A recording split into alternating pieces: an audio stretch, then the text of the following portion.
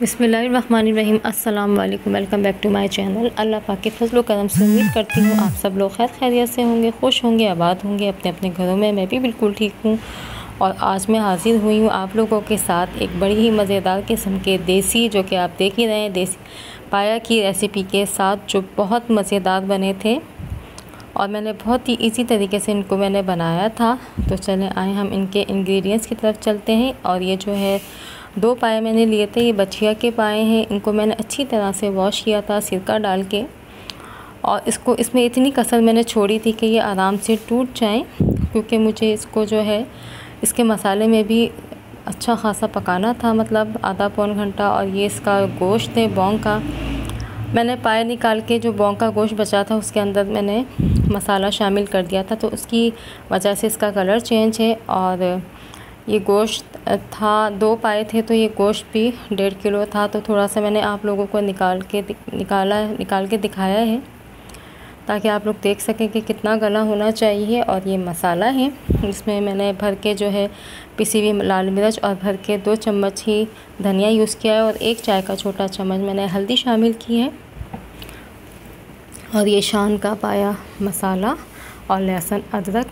Already मैं लहसुन और अदरक जो है इसकी यखनी में डाल चुकी हुई हूँ। और ये दो बड़ी प्याज है हमारे पास, इसको मैंने खूब अच्छी तरह से पीस लिया है।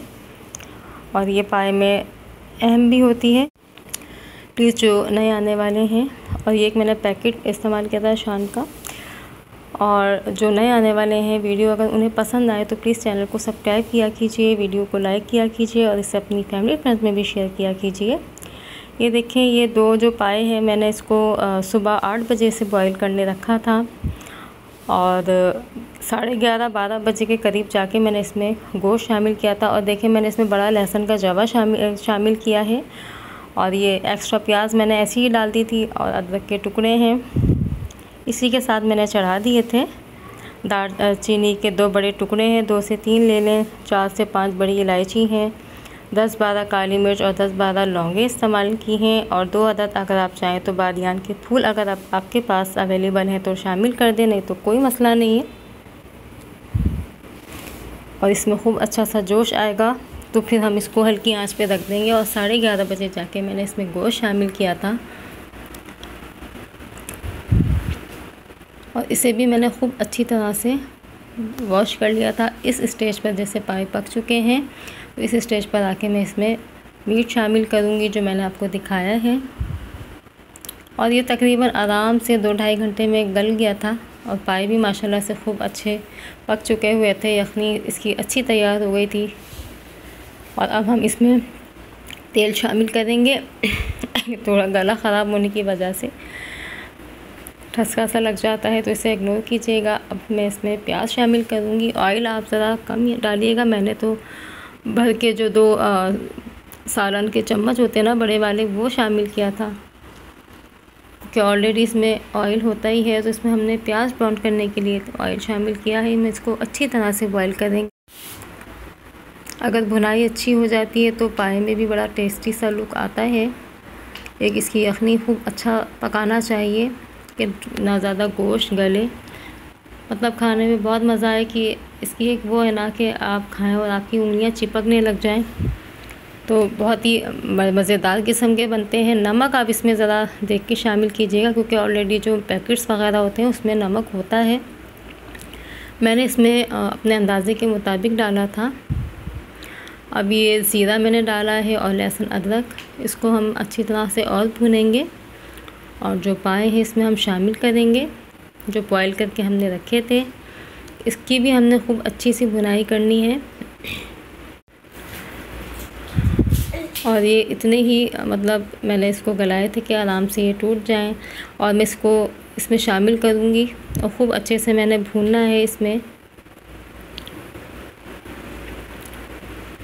बुनाई अच्छी करेंगे तो कोई किसी चीज़ की स्मेल वगैरह जो होती है वो भी नहीं रहेगी। और मैंने इसको सिरका डाल के वॉश किया था। तो सिरका डालने से वैसे ही किसी चीज़ की स्मेल नहीं आती और सिरका डालना रसूल वसल्लम की सुनत मुबारक भी है। और आप लोग भी अपने खानों में अगर एक आध चम्मच सिरका शामिल करेंगे तो कोई मसला नहीं होगा, बल्कि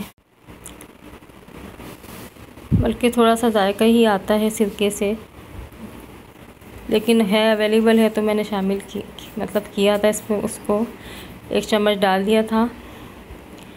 और अब हम इसमें मैंने शान का मसाला भी डाल दिया, जो मसाले थे वो भी डाल दिए हैं। और इसमें जो पहले पाए की भुनाई की थी, वो भी शामिल कर दिया था। और ये गोश्त भी मैंने शामिल कर दिया था। अब मैं इसको खूब भूनूँगी। और जो इसकी यखनी जो मैंने उठाई थी, मैं उसमें वो डाल मतलब शामिल करके भूनूँगी तो बड़ा ही मज़ेदार सा टेस्ट आता है। और आप इस तरीके से पाए बनाएँगे तो आप उंगलियाँ ही चाटते रह जाएँगे। बहुत मज़ेदार पाए होते हैं मतलब बने थे ये वाले। और हमारे ज़्यादातर ज़्यादातर यही पाए पसंद किए जाते हैं और दावत होने की वजह से मैंने इतने ज़्यादा पाए बनाए थे। दावत का ब्लॉग कुछ टाइम ना होने की वजह से बना नहीं सकी मैं। कुछ नेट नेट प्रॉब्लम्स वगैरह भी यहाँ पे अच्छा खासा चल रहा था। लाइट्स भी जा रही हैं, जैसे गर्मी का तो पता है, कराची में कितनी होती है। तो उस हिसाब से मैं वीडियो नहीं अपलोड कर पाई। और अब मैंने इसमें जो यखनी है, मैंने वो शामिल कर दी है। अब हम इसे जो है, आधा पौन घंटा तक मैं इसमें पकाऊँगी। और अच्छा सा जोश आ जाएगा तो नॉर्मल आँच कर देंगे। और ये देखें, हमारे पाए तकरीबन तैयारी होने पर हैं। इसमें मैंने मतलब पिसावा गरम मसाला और साबित हरी मिर्चें शामिल कर दी थी। और इसका मसाला भी मैंने मतलब ऑलरेडी तैयार करके रखा हुआ था। हरा धनिया, हरी मिर्चें, अदरक उम्मीद करूँगी इन ताला आपको आज की रेसिपी ज़रूर पसंद आएगी।